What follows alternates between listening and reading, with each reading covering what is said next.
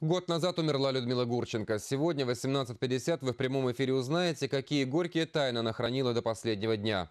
А в нашем следующем выпуске в 20.30 мы расскажем, почему «Газели» так и не могут отправить в загон.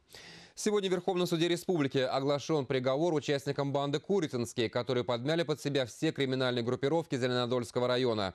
Следователи считают, что одним из главных источников их дохода был центральный рынок.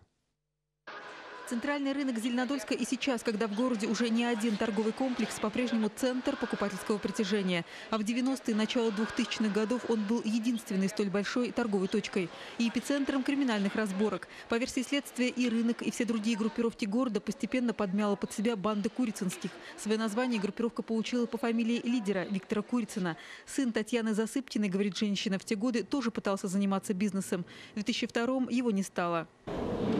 Его поджидали около подъезда, расстреляли, зверски убили. Остался сын, которому было всего пять лет. Мне очень тяжело это вспоминать. Я благодарна полиции, что все-таки раскрыто это злодейское преступление. На скамье подсудимых 8 человек. Они обвиняются в многочисленных убийствах и покушениях. В прениях гособвинитель просил им наказание от 8 до 22 лет лишения свободы.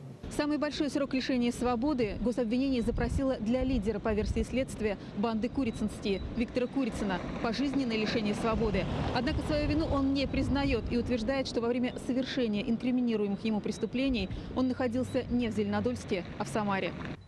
Курицын заявил, что его оговорили. Так же, как и в случае убийства заместитель директора фирмы «Ростек Татарстан» Марата Усманова на базе отдыха в Зеленом Бару в 2002 году. Непосредственно сам он принимал участие в этом преступлении. Вот, э, адвокаты, сам подсудимый, э, выдвинули алиби, что он тоже в это время находился э, в городе Самару, занимался спортом в спортзале, предоставили своих свидетелей. Но я еще раз говорю, мы проделали достаточно большую работу, чтобы опровергнуть это алиби. Аресты Курицынских начались в 2009-м. В 2010-м в Самаре задержали и лидера банды, который к тому моменту был заместителем директора одной из крупных фирм. Чтобы перечислить все эпизоды преступной деятельности, суде потребовалось почти 7 часов. Итог – лидер банды Виктор Курицын, как и просил гособвинитель, осужден к пожизненному сроку. Остальные получили от трех лет условно до 20 лет в колонии строгого режима. Инна Данилова, Павел Прищепов, Вести, Татарстан.